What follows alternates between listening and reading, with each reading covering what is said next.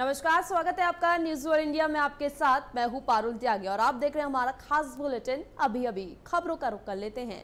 अगर आप Android user हैं तो आपके लिए अच्छी खबर नहीं है। दरअसल टेक ज्वाइंट गूगल अब 2.3.7 या जो फ़ोन इससे कम के वर्जन पर काम करते हैं, उन पर साइन इन सपोर्ट नहीं करेगा। गूगल ने यूज़र्स को मेल भेजकर इस बात की जानकारी दी है और इन्हीं मेल से पता चला है कि आने वाली 27 सितंबर से कुछ ऐप इन स्मार्टफोन्स में सपोर्ट नहीं करेंगे। साथ ही गूगल ने कहा है कि सितंबर के बाद भी अगर यूज़र्स इन गूगल एप्स को यूज़ करना चाहते हैं तो उन्हें कम से कम एंड्रॉयड 3.0 हनीकॉम में अपडेट करना होगा और ये फ़ोन में ऐप लेवल साइन इन पर असर भी डालेगा, लेकिन यूज़र्स को अपने फ़ोन के ब्राउज़र के ज़रिए Gmail Google search Google drive YouTube में साइन इन करने के लिए केपेबल होना होगा। वही रिपोर्ट के मुताबिक बता दें कि गूगल अपने यूज़र्स की सिक्योरिटी के लिए ये कदम उठाने जा रहा है। हालाँकि रिपोर्ट में ये भी कहा गया है कि ऐसे यूज़र्स की संख्या बहुत कम है जो इससे इफ़ेक्ट होंगे, क्योंकि बहुत कम यूज़र्स इतने पुराने एंड्रॉयड वर्जन का इस्तेमाल करते हैं। साथ ही गूगल के मुताबिक आने वाले 27 सितंबर से अगर कोई यूज़र एंड्रॉयड वर्जन 2.3.7 और उससे कम पर चलने वाले फ़ोन पर किसी गूगल ऐप में साइन इन करेगा तो स्क्रीन पर यूज़र नेम या पासवर्ड एरर लिखा आएगा।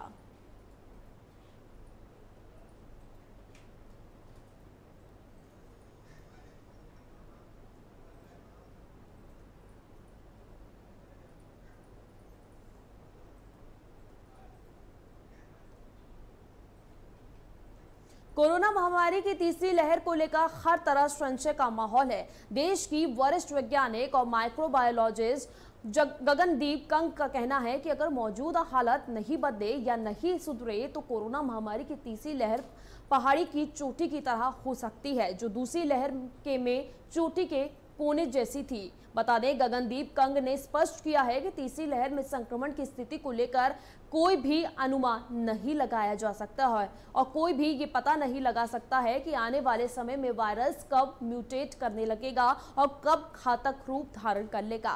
साथ ही केरल में संक्रमण के बढ़ते मामलों को लेकर उन्होंने कहा कि केरल की आलोचना करना गलत है। सोशल मीडिया पर केरल को कोसा जा रहा है। हकीकत तो ये है कि टीकाकरण की कम दर और स्थानीय स्तर पर बढ़ती जाने वाली लापरवाही की वजह से वायरस फिर से पनप रहा है। उन्होंने कहा कि केरल में संक्रमण की दर बकर ईद से पहले भी बढ़ रही थी और इससे सबक लेते हुए दूसरे राज्य सावधानी बरतें, नहीं तो वायरस किसी को भी नहीं बख्शेगा।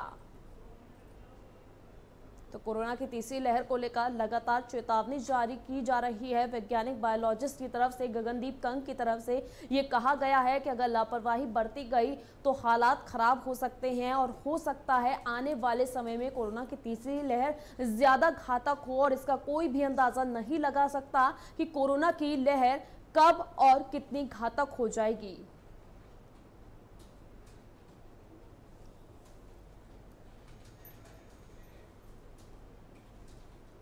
दिल्ली में 9 साल की बच्ची के साथ हुए हैवानियत के बाद हत्या के मामले में मुख्यमंत्री अरविंद केजरीवाल ने दोषियों के लिए फांसी की मांग की है। अरविंद केजरीवाल ने ट्वीट कर कहा है कि दिल्ली में कानून व्यवस्था की स्थिति बहुत ही खराब है, जिसे जल्द सुधारने जाने की ज़रूरत है। अरविंद केजरीवाल कर कल पीड़ित परिवार से मिलने उनके घर भी जाने वाले हैं। बता दें कि बच्ची के माता पिता ने दोषियों की मौत की सजा देने की मांग की है। पुलिस ने जानकारी दी है कि दलित बच्ची की संदिग्ध परिस्थितियों में मौत हुई है। वहीं बच्ची के माता पिता का कहना है कि उसके साथ दुष्कर्म हुआ और उसके बाद नांगल गाँव के पुजारी ने जबरन उसका अंतिम संस्कार भी करा दिया।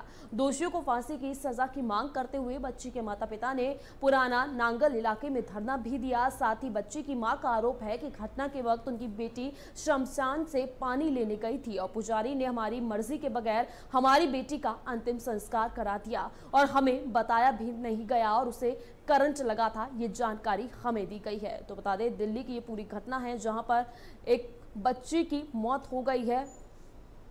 बच्ची के माता पिता मांग कर रहे हैं कि दोषियों को जल्द से जल्द सजा होनी चाहिए और साथ ही कहा जा रहा है बच्ची के माता पिता की तरफ़ से कि हमारी बच्ची के साथ दुष्कर्म की घटना हुई और उसके बाद उसकी हत्या करके उसे फेंक दिया गया।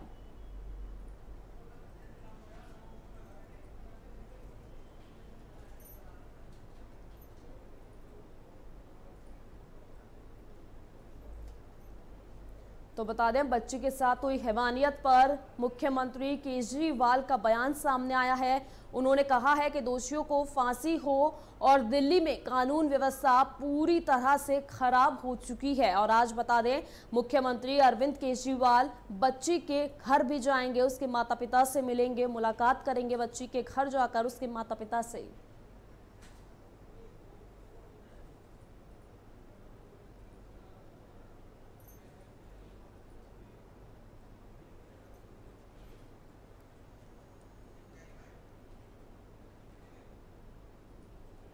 केंद्रीय विद्यालयों में अब सांसदों के 10 कोटे के अलावा किसी नेता या मंत्री की सिफारिश पर बच्चों के एडमिशन नहीं हो पाएँगे।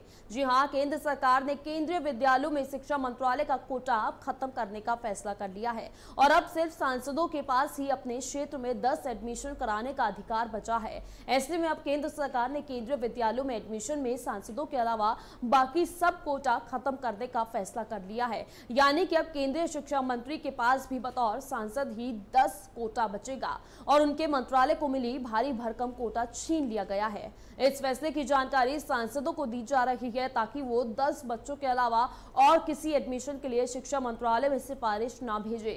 साथ ही लोकसभा के सांसद अपने लोकसभा क्षेत्र में आने वाले केंद्रीय विद्यालयों में अधिकतम 10 बच्चों के एडमिशन की सिफारिश कर सकते हैं। और इसी तरह राज्यसभा सांसद अपनी राज्य के किसी भी केंद्रीय विद्यालय में अधिकतम 10 बच्चों का एडमिशन करा सकते हैं। बता दें, पहले सांसदों का ये कोटा छह एडमिशन का ही होता था, जिसे साल 2016 से 17 में बढ़ाकर 10 कर दिया गया था। और इस कोटे के अलावा केंद्रीय शिक्षा मंत्री साढ़े एडमिशन की सिफारिश कर सकते थे। ये सिफारिशें भी वही होती थी जो किसी नेता या सांसद के ज़रिए मंत्रालय तक आती थी। वैसे ये साढ़े चार सौ किलोमीटर कभी रही ही नहीं और हर सत्र में इससे कहीं ज़्यादा एडमिशन मंत्रालय की सिफारिश पर केंद्रीय विद्यालयों में कराए जाते थे। वहीं साल 2018 में 19 से 8000 से ज़्यादा एडमिशन मंत्रालय की सिफारिश पर किए गए और इन सिफारिशों में ज़्यादातर गरीब और जरूरतमंद बच्चे ही शामिल होते थे, जिनका केंद्रीय मंत्रालय विद्यालय में एडमिशन के लिए स्थानीय नेता या सांसद मंत्रालय में सिफारिश किया करते थे। अब ये कोटा नहीं रहेगा।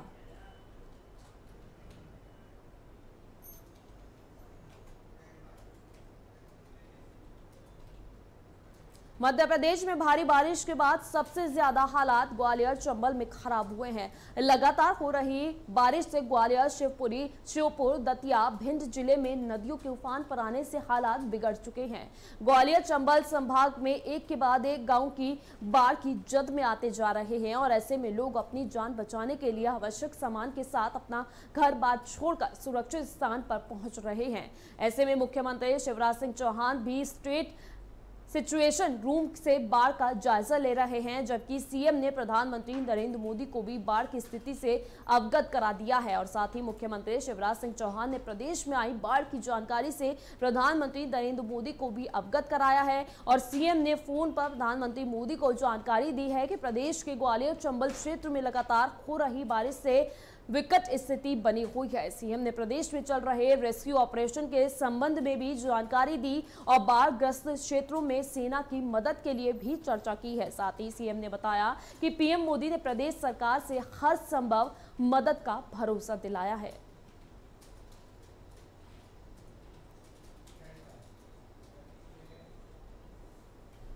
राजस्थान में मंत्रिमंडल में संभावित फेरबदल से पहले हरियाणा कांग्रेस की प्रमुख कुमारी शैलजा की रविवार को मुख्यमंत्री अशोक गहलोत से मुलाकात के बाद मंगलवार को कर्नाटक कांग्रेस के अध्यक्ष डी के शिव कुमार ने भी यहाँ मुख्यमंत्री से मुलाकात कर चर्चा की है। बता दें, एक के बाद एक हो रही इन मुलाकातों ने गहलोत मंत्रिमंडल विस्तार में संभावित अड़चनों की अटकलों को लेकर और हवा दे दी है।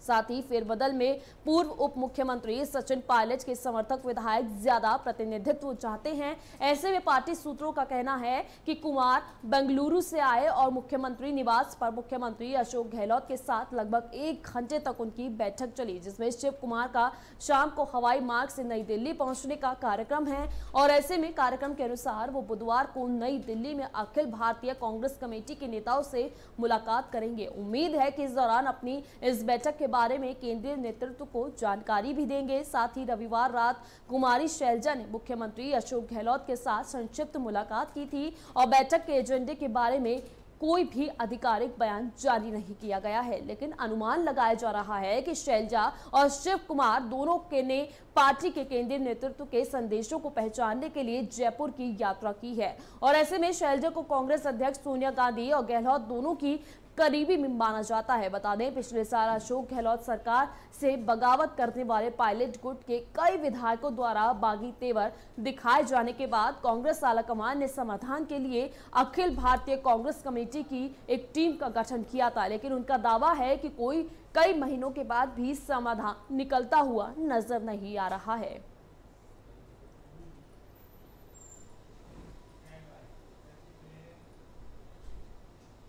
वहीं कोरोना को लेकर आप गंभीर नहीं हैं तो सावधान हो जाइए। दरअसल खतरा बच्चों की जान पर है अब। मासूमों को बचाने के लिए सरकार की तैयारी चल रही है और ऐसे में दिल्ली एनएचएसआरसी के ट्रेनर बिहार की सभी आशा और एएनएम की विशेष प्रशिक्षण भी देंगे। बता दें, बिहार के लगभग नब्बे हज़ार हेल्थ वर्कर्स को ट्रेंड कर उन्हें हर स्तर से तीसरी लहर से निपटने की तैयारी में लगाया जाएगा और इसके अलावा इंफ्रास्ट्रक्चर को भी लेकर तैयारी चल रही है। स्वास्थ्य विभाग का कहना है कि देश में बढ़ रहे मामलों को देखते हुए तीसरी लहर में बच्चों को बचाने का इंतज़ाम पहले से ही किया जा रहा है। दरअसल कोरोना को लेकर जिस तरह से लापरवाही बरती जा रही है, वो काफ़ी घातक है। बाजारों में कोई सोशल डिस्टेंसिंग नहीं है मास्क का प्रयोग नहीं किया जा रहा है, ये लापरवाही ही खतरा बन सकती है। ऐसे में कोरोना की तीसरी लहर को रोकने के लिए हर इंसान को जागरूक होना बहुत ज़रूरी है। अगर एक भी व्यक्ति संक्रमित होकर लोगों के संपर्क में आया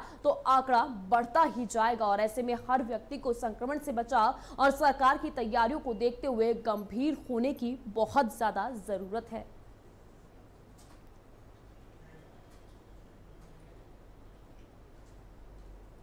वहीं पटना हाईकोर्ट ने दिवंगत अभिनेता सुशांत सिंह राजपूत की मौत की जाँच सही ढंग से कराने की याचिका पर सुनवाई आने वाली 4 सितंबर के लिए टाल दी है। एक लॉ छात्र देवेंद्र ने बता दें कि याचिका पर चीफ जस्टिस संजय करोल और एस कुमार की खंडपीठ ने मंगलवार को सुनवाई की थी और पिछली सुनवाई में कोर्ट ने किसी को नोटिस जारी करने से इनकार कर दिया था। साथ ही साथ ये भी स्पष्ट किया था कि मामले की सुनवाई लंबित होने के दौरान भी विभागीय कार्रवाई पर किसी तरह की रोक नहीं होगी। याचिका में कहा गया है कि सीबीआई सुशांत के मुंबई कि बांद्रा स्थित फ्लैट में संदेहास्पद मौत की जाँच कर रही है और यदि पटना हाईकोर्ट सीबीआई की जाँच को संतोषजनक नहीं पाती है तो कोर्ट सीबीआई के निदेशक और केंद्र सरकार को निर्देश देगी और ऐसे में जाँच कर रहे अधिकारियों को बदलकर वर्गीय अधिकारियों की नई टीम को इस मामले की जाँच का जिम्मा सौंपा जाएगा। साथ ही बता दें, हाईकोर्ट मामले की स्वयं निगरानी कर रहा है और सीबीआई को समय समय पर कोर्ट में प्रगति रिपोर्ट पेश करने के निर्देश भी दे रहा है ताकि जाँच को जल्द ही पूरा कर लिया जाए और दोषियों को सजा मिल सके।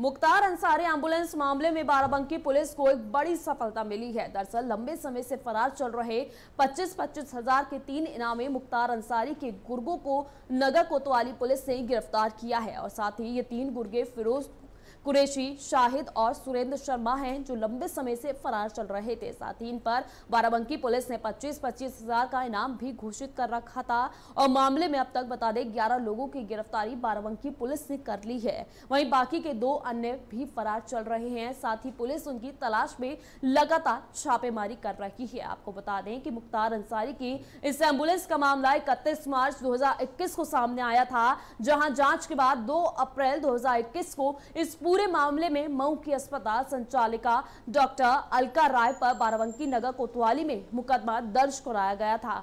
यही नहीं, बाराबंकी पुलिस की टीम ने पंजाब से 5 अप्रैल को इस एंबुलेंस को भी बरामद कर लिया था और पुलिस ने फर्जी दस्तावेज़ के आधार पर पंजीकृत कराई गई एंबुलेंस प्रकरण में इनकी गिरफ्तारी भी की है।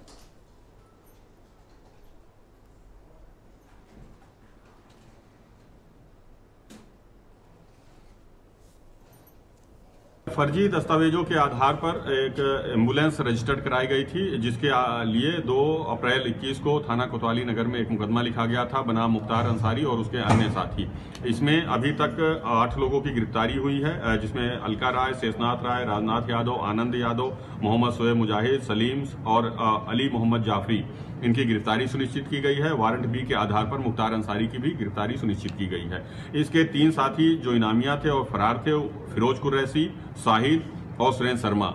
ये सभी गाजीपुर के रहने वाले हैं और मुख्तार अंसारी के साथ मिलकर उसके गाड़ी चलाना और उसके आपराधिक षडयंत्रों में शामिल रहना इनका कार्य था। वो भी गिरफ़्तार किए गए हैं। जब इनसे गहन पूछताछ हुई तो इन लोगों ने बताया कि ये लोग मुख्तार अंसारी की एंबुलेंस और अन्य गाड़ियाँ लगातार चलाया करते थे।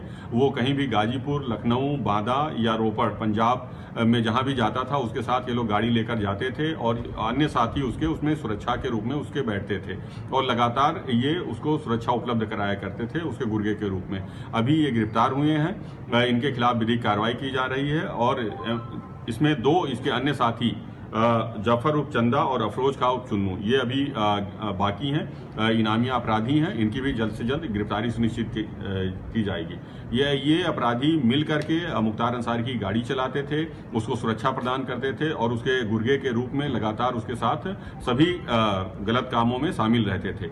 अभी ये गिरफ़्तार किए गए हैं और लगातार इनके खिलाफ विधिक कार्रवाई जारी रहेगी। उत्तर प्रदेश में अगले साल होने वाले विधानसभा चुनाव में सभी राजनीतिक दलों ने अपना दमखम दिखाना शुरू कर दिया है। पार्टी नई नई रणनीतियों के साथ मैदान में उतर रही है और एक तरफ़ जहाँ बसपा ने ब्राह्मणों को रिझाने के लिए अयोध्या से ब्राह्मण सम्मेलन की शुरुआत की तो वहीं कांग्रेस अब दलितों को साधने में जुट गई है। यूपी में कांग्रेस ने जातीय कार्ड खेलते हुए दो दिन के लिए दलित सम्मान दिवस मनाया और दलित स्वाभिमान यात्रा भी निकाली। माना जा रहा है कि यूपी में ब्राह्मणों से ज़्यादा ज़्यादा दलित मतदाताओं को देखते हुए कांग्रेस ने उन्हें रिझाने के लिए ये रणनीति तैयार की है। और इसी क्रम में बाराबंकी के जसमंडा गाँव में भी कांग्रेस ने दलित सम्मान दिवस मनाया, जिस पर अनुसूचित जाति विभाग के प्रदेश अध्यक्ष और कांग्रेस प्रदेश प्रवक्ता तनुज पुनिया जिला अध्यक्ष मोहम्मद मोहसिन समेत कई नेता और कई कार्यकर्ता मौजूद रहे। इस दौरान कांग्रेस नेता तनुज पुनिया ने कहा कि दलित सम्मान दिवस इसलिए मनाया जा रहा है क्योंकि तीन अगस्त को डॉक्टर बी आर अंबेडकर ने प्रधानमंत्री पंडित जवाहरलाल नेहरू की कैबिनेट में कानून मंत्री के रूप में शपथ ली थी और ये एक तरह से दलितों को सम्मान देने की बात है।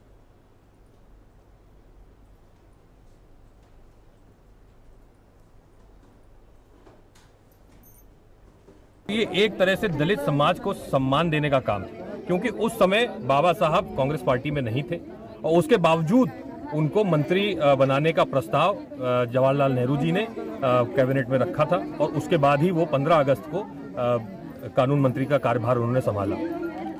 अभी हाल में ही समाजवादी पार्टी और बीएसपी पार्टियों ने बीजेपी ब्राह्मणों को लुभाने के लिए सम्मेलन किया। आज कांग्रेस पार्टी दलित सम्मेलन कर रही है। तो किस तरह से ये जातिवाद एक लेके आप कांग्रेस भी कर रही है और समाजवादी भी कर रहे हैं? किस तरह से आप देखिए कांग्रेस पार्टी में मैं अनुसूचित जाति विभाग से हूँ।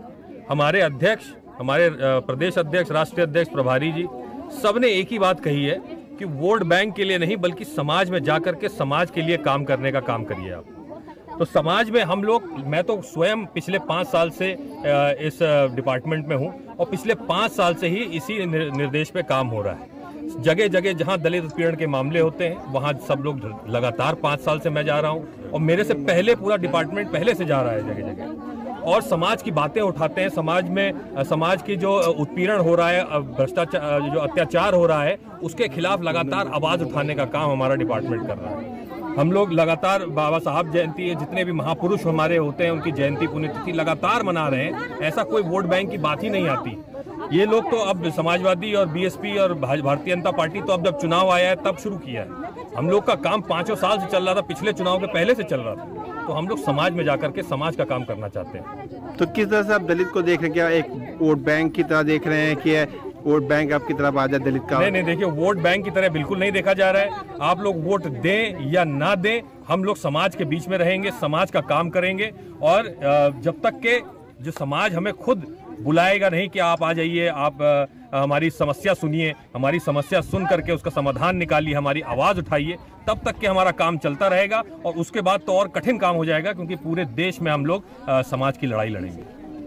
वहीं बिजनौर के नजीबाबाद की माला नदी किनारे मौजूद प्राचीन काली मंदिर, माता का मंदिर में दिन दहाड़े चोरी, चोरों ने मंदिर में दान पात्र से रुपए चोरी कर लिए। साथ ही माता के सिर से चांदी का मुकुट भी चोरी कर मंदिर की पुजारी की साइकिल चुरा कर रफू चक्कर हो गया। हालाँकि मंदिर के इर्द गिर्द लगे सीसीटीवी कैमरे में चोरी की तस्वीर। कैद हो गई है, वहीं मंदिर के पुजारी की तहरीर पर पुलिस ने चोर की तलाश में अब जुट गई है। आपको बता दें कि ये मंदिर सैकड़ों साल पुराना है और दिन दहाड़े चोर पूजा अर्चना के बहाने मंदिर में जा घुसा और उसके बाद चोर ने बड़ी चालाकी से काली माता की मूर्ति से चांदी के मुकुट चोरी किया और उसके बाद मंदिर का दान पात्र तोड़कर रुपए चोरी कर लिए। मंदिर में पुजारी की साइकिल को उठाकर चोर आसानी से मंदिर से चोरी कर कर रफू चक्कर हो गया। फ़िलहाल मंदिर के पुजारी ने थाने में तहरीर दे दी है और पुलिस सीसीटीवी कैमरे में कैद चोर की कुंडली खंगालने में अब जुट गई है।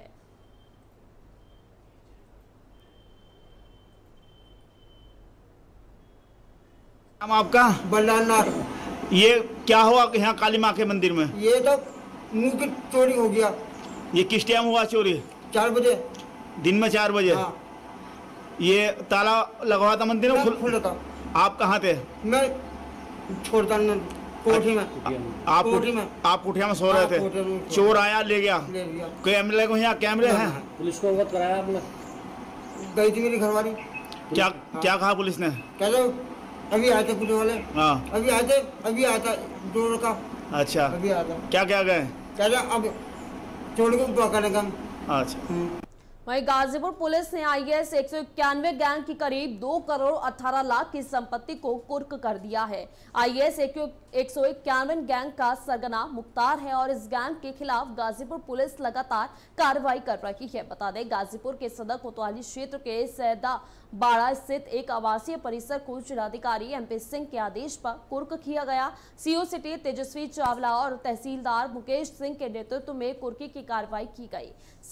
सैदाबाद बता दें स्थित आवास की कीमत करीब एक करोड़ अठारह लाख रुपए बताई जा रही है और ये आवास मुख्तार अंसारी की पत्नी आफसा अंसारी और उसके साले सरजील अंसारी के नाम बताई जा रही है। और साथ ही इसके अलावा इस गैंग के लखनऊ के गोमती नगर स्थित एक आवास की कुर्की का भी आदेश जिलाधिकारी ने दिया है। जिलाधिकारी की तरफ़ से दो अगस्त को गैंगस्टर एक्ट की धारा 14 के तहत इन दोनों संपत्तियों को कुर्क करने का आदेश जारी किया गया था और इसी के चलते कुर्की की ये कार्रवाई की गई है।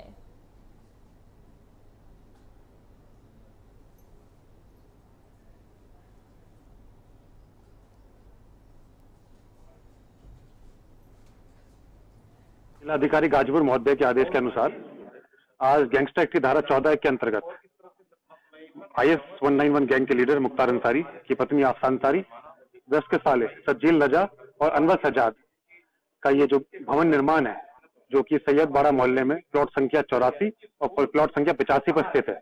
इस भवन निर्माण को आज धारा चौदह के अंतर्गत कुर्क किया गया है। ये प्रॉपर्टी की कुल कुल कीमत कितनी होगी?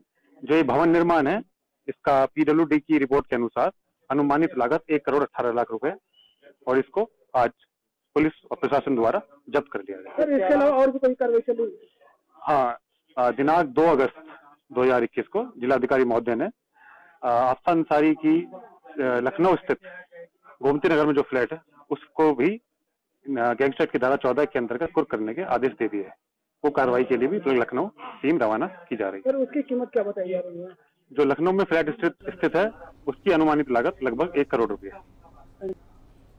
बुलंदशहर में एक युवक ने महिला से दुष्कर्म करने का प्रयास किया। वहीं महिला ने जब इसका विरोध किया तो युवक ने महिला पर धार धार हथियार से हमला करने की कोशिश की। हमला करने पर महिला गंभीर रूप से घायल हो गई। वहीं महिला के शोर मचाने पर आसपास के ग्रामीण इकट्ठा हो गए। वहीं ग्रामीणों ने आरोपी युवक को पकड़ लिया और इसकी सूचना पुलिस को दे दी, जिसके बाद मौके पर पहुँची पुलिस ने आरोपी को गिरफ़्तार कर लिया और घायल महिला को इलाज के लिए अस्पताल भेज दिया है।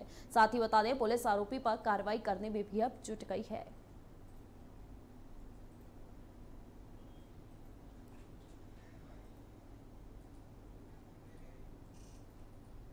हरदोई के माधोगंज कोतवाली क्षेत्र में उस वक्त अफरा तफरी का माहौल बन गया जब माधोगंज की और से बिलग्राम के लिए आ रहे ट्रक ने दो बाइक सवार युवकों को जोरदार टक्कर मार दी, जिससे युवक मोटरसाइकिल समेत ट्रक के नीचे चले गए। वहीं और जिसका पेट्रोल टंकी फटने से पेट्रोल निकल गया और अचानक ट्रक में आग लग गई, जिसमें एक युवक की मौके पर ही मौत हो गई, साथ ही एक बाइक सवार युवक गंभीर रूप से घायल हो गया। ग्रामीणों ने इसकी सूचना पुलिस को दी, जिसके बाद सूचना पाते ही मौके पर पहुँची पुलिस ने राहत बचाव का काम शुरू किया और घायल युवक को जिला अस्पताल भेज दिया। बता दें, मृतक के शव को कब्जे में लेकर पुलिस ने पोस्टमार्टम के लिए भेज दिया है।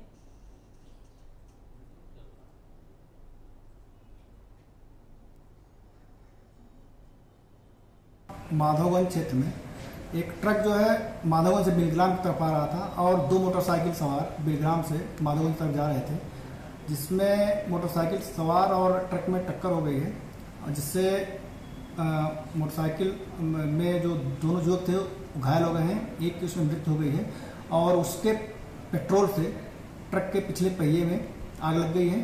तत्काल ही फायर टेंडर को बुलाया गया है मौके पहुँच रही है और पुलिस अन्य आवश्यक विधिक कार्रवाई कर रही है। सर जो एक्सपायर हुए हैं हमारे भाई हैं बड़े भाई हमारा नाम अनुपम है जो खत्म हो गए उनका नाम राम निवास है। ये कहाँ से वापस आ रहे थे? सर उनका मकान हरदोई में है वहाँ वहाँ वहाँ से आ रहे थे गाँव। किस गाँव? किस गाँव जा रिपेयर हुआ है वो हरदोई में जो जो घायल हुए हैं। है हरदोई में भी है। जो घायल हुआ उसका क्या नाम है? उसका नाम आदर्श है उसका पिताजी का नाम है श्री लाल बहादुर आज़ाद। इस बुलेटिन में फ़िलहाल के लिए इतना ही। आप देखते रहिए न्यूज़ ऑल इंडिया।